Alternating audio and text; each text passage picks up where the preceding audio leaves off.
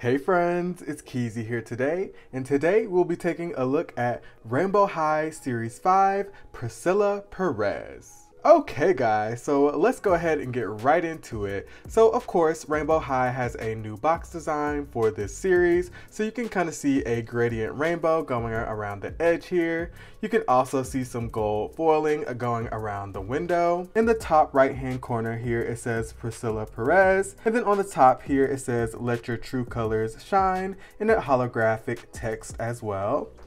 On the right side here, you can see the gold line art then on the back carton, that same line art in black. On the side here, you can see it says Priscilla, and she is a fashion design focus like all the dolls in this series.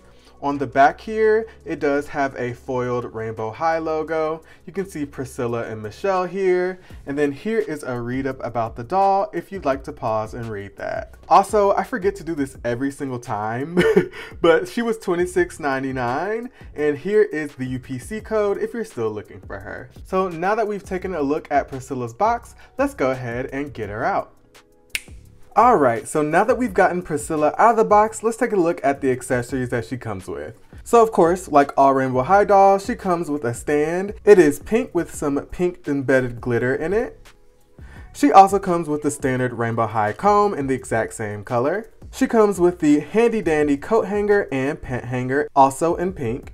Priscilla also comes with a laptop. You can see it has a rainbow here with a RR and that kind of Chanel looking logo. Then on the front here, you can see that she's in Photoshop editing some fashion sketches. And of course it does have the molded on keys. She does come with a phone and a phone case. It looks like she's on Instagram here, looking at some of those same sketches that are on her computer. Her phone is gold. And the phone case has some kind of transposed RRs on them. I think this is like a play on the Fendi print. And of course the case has a hole so that she can hold it on her thumb. She also comes with a set of makeup brushes. We've seen these all before. And she also comes with a lip gloss bullet that kind of matches the color on her lip. You can also see a makeup palette here that is in kind of like a pinkish orange color. It does have that faux Medusa head molded on the very top when you open it up here, which is kind of hard to do. Of course, she has a mirror and some shades that kind of go along with her color scheme. For earrings, Priscilla has these dangling gold earrings. They have kind of like a transparent stud at the very top. Then it goes down into this little oval here that has some gems going throughout.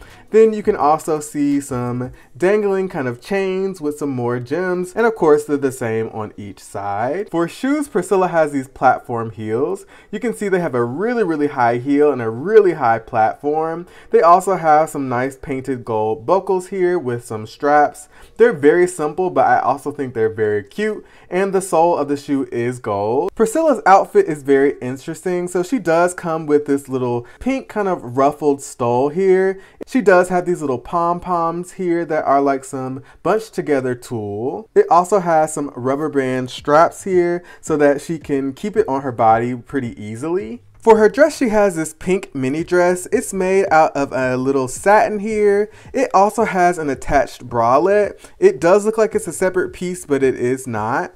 On the bralette here, you can see some applied gemstones. I would just be careful with this because MGA is known for their gems falling off pretty easily, although these feel like they're secured on pretty well. You can see some darts going throughout the front of the dress, and you can see a belt here in gold that says RH.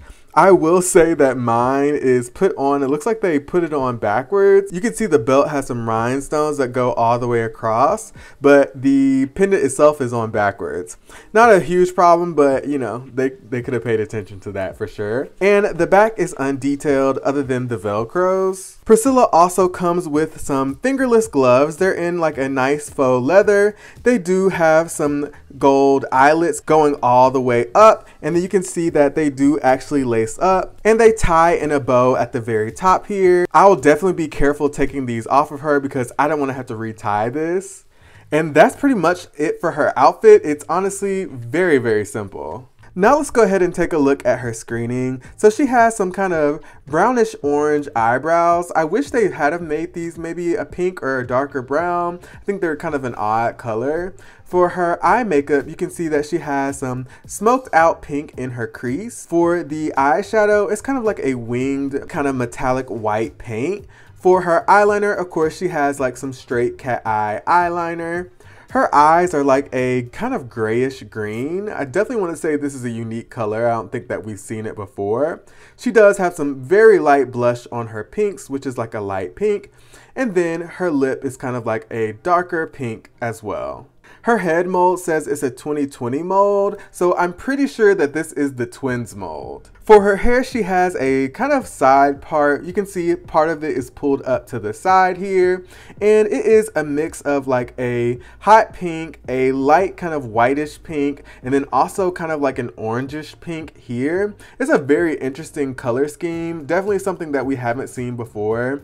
It does have a light curl at the very bottom here. And there's not a whole, whole bunch of product in it. I feel like it'll wash out pretty well and be really, really nice and soft. For articulation, she has the standard rainbow high articulation, so she can swivel at the head. She can also bend at the elbow. She can bend at the wrist. She can also do a double joint at the knee, and that is it for the articulation. Also, Priscilla does have a longer nail mold. It seems like all the dolls in this line have the longer nails. Um, mine isn't painted that well, but I never really pay attention to the manicure. And honestly, guys, that is all for Priscilla Perez. So let me go ahead and give you my final thoughts. She definitely was my least favorite out of this line, and I definitely feel that that still rings true. I ranked her as last, and I definitely feel that. Um, I will just go ahead and start with the pros. So I think that her hair is a very interesting color and a very interesting blend. I don't feel like this is a shade of pink that we've ever seen before. So that's definitely nice that it's unique. I'll also say I really do like her shoes. I love how high they are. And yeah, I would definitely wouldn't mind if they reuse these again. I feel like you can probably get a lot of really great restyles out of these shoes. I will also say that the opera length gloves with the actually working laces is a really, really nice touch. Again, I think this is really cute. Now for the cons. so yeah, I mean, I feel like she's just a really basic pink doll in my opinion. I don't really understand the whole tulle fluffy um, stole thing. I don't think that it really adds that much to the outfit. I kind of wish that it was like a sheer, like almost jacket with this tulle around it. I think that would add to the look. I'm also really not a huge fan of the satin that her dress is made out of. It does feel really thin. And just overall, from a design standpoint, I don't like the dress. I, I don't think it's very cute or very flattering for her figure at all. I also feel like one more con is that they could have done something different with her hair, something a little bit more unique. I feel like with Series 4, they gave us a lot of unique hairstyles, a lot of unique hair clips. So maybe if she had some hair clips or something, it would add to the look. Overall, I feel like she just doesn't feel like she's worth the $26.99 price versus some of the other dolls in this line. But I think she's still pretty. I will say I'm not going to um, bag on her too much. I still think that she's a very pretty doll. She's just not one of my favorites. Like,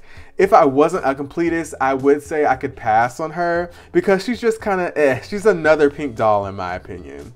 But now that we've taken a look at all the things that Priscilla Perez comes with, let's go ahead and restyle some hair. Alright friends, so if you're interested to know any of the products that I'm using in today's video, everything will be listed in the description below. But with that being said, let's go ahead and answer some more questions from Instagram that you guys asked. Which is better, Shadow High Series 2 or Rainbow High Series 5? Definitely Shadow High Series 2. I think that I like just the Shadow High aesthetic a little bit more. And I just feel like Shadow High Series 2 was a really, really strong line. Like the quality was amazing. I think they really pushed that $24.99 budget on every single doll and it definitely shows. The safest hot tools for dolls. So I use all Hot Tools products for my dolls. So my flat iron and my curling iron that I use on a regular basis is from Hot Tools. You absolutely don't have to use a Hot Tools curling iron. It's completely up to what's in your budget. What I will say though is if you're going to use Hot Tools on your dolls, they need to be temperature controlled. It needs to go from like 200 all the way up to 400 because how you burn your doll's hair is the temperature being too hot. Whether the product has a dial or it's a digital temperature control, it definitely needs to have one. What is a doll that you like that nobody else likes? So I would say a most recent one that I like that I feel like a lot of people don't really care for is Rainbow High Series 5 Aiden.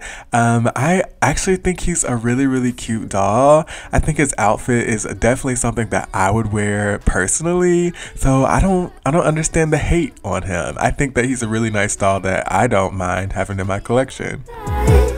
What is your favorite doll in your collection, including restyled dolls? So, this one is actually a hard one. Um, I have kind of favorite dolls in different categories, but if I had to say my favorite dolls overall, is I actually have a custom Sailor Moon doll that I paid like $300 for from a artist on Instagram. Either her or my Bratz Sweet Dream Felicia.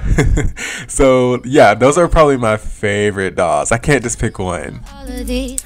Hairstyling must haves. So, I didn't want to just ignore this question. So, now that I'm about to probably have a break, now that I'm done with the Series 5 restyles, after I finish Aiden, of course, I'm thinking about doing a series of videos where I go over hairstyling must haves. I also want to do a full video on doll hair types.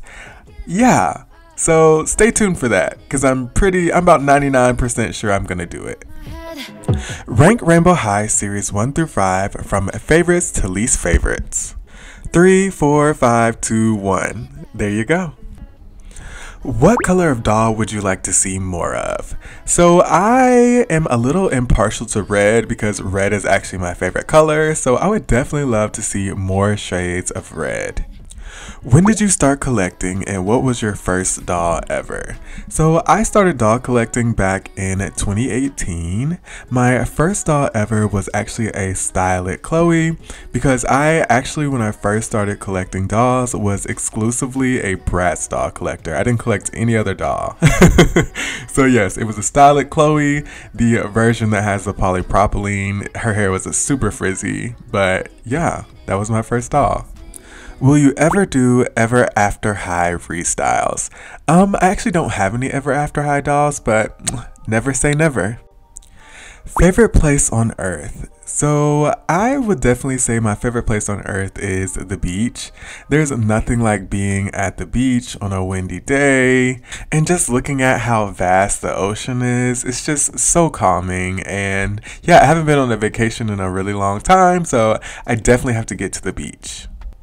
Hey Peachy, how did you get into doll collecting and what would be your dream job? So uh, I kind of answered this in my last video, but I'll tell the other side of it. So back in 2018, I was watching a lot of doll collectors like As Does Makeup was one of my favorites. I used to watch his videos all the time.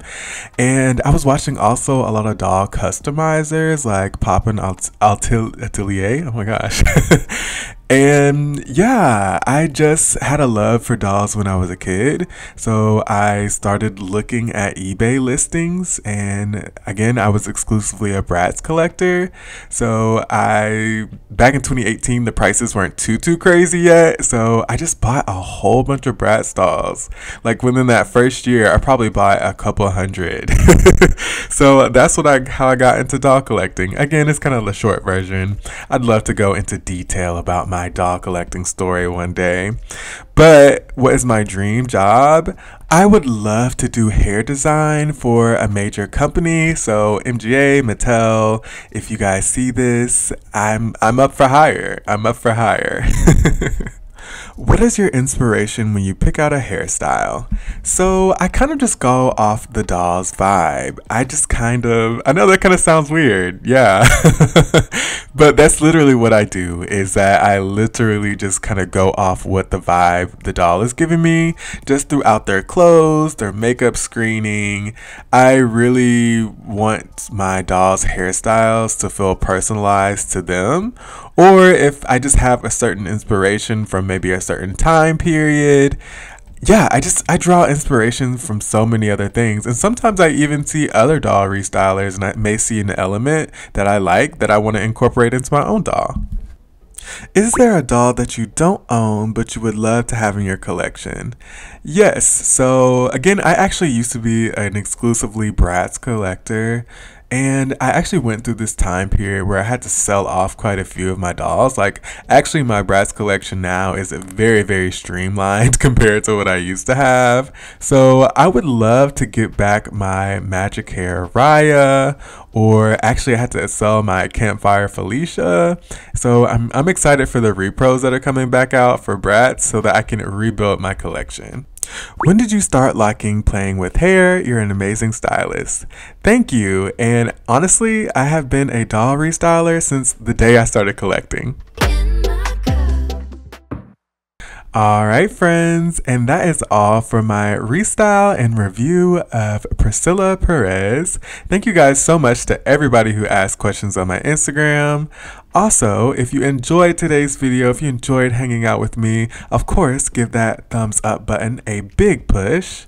Also, if you enjoy living your doll hairstylist fantasy, that's what we do here every single week on this channel. So if you feel like it, hit that subscribe button and stick around a little bit. Also, tell me what you guys thought of today's restyle. Sound off in the comments down below. Also, I would love to see you guys on my other platforms. It's Peace, Love, and Plastic on Instagram, TikTok, and Twitter. But we only have one more video in the Rainbow High Series 5 restyles, and that is Aiden. I can't wait to see you guys there. So I'll see you guys later this week. Peace.